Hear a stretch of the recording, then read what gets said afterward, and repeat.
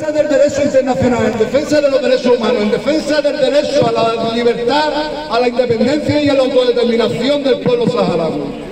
Entendemos que no se puede ser tan hipócrita como son algunas instituciones que hacen declaraciones impecables en las que reconocen el derecho a la autodeterminación y luego llegan a acuerdos con el ocupante, con el usurpador, acuerdos que expolian los recursos naturales del pueblo saharaui. Acuerdos que son rechazados de forma sistemática por el Tribunal de Justicia de la Unión Europea y que la Unión Europea le da la vuelta para seguir manteniéndolos y seguir robando al pueblo saharaui sus recursos. Creemos que la Unión Europea tiene que pasar de las acciones a los hechos y cancelar estos acuerdos. La Unión Europea tiene como medida inmediata que reconocer al Frente Polisario como el único interlocutor legítimo del pueblo saharaui. No puede ser que cuando quiera hablar con el pueblo saharaui hable con Argelia. El representante del pueblo saharaui del Frente Polisario.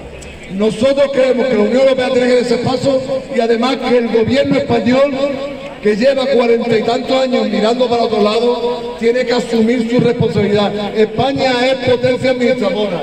No puede ponerse de perfil, tiene que asumir su responsabilidad y liderar en el ámbito internacional el respeto a los derechos del pueblo saharaui. No me extiendo más porque son muchas y muchos los compañeros que tienen que intervenir aquí, pero quiero terminar con un viva la, marcha de la libertad del pueblo saharaui, viva la lucha del pueblo saharaui, viva el Frente Polisario, viva la República Árabe Saharaui Democrática.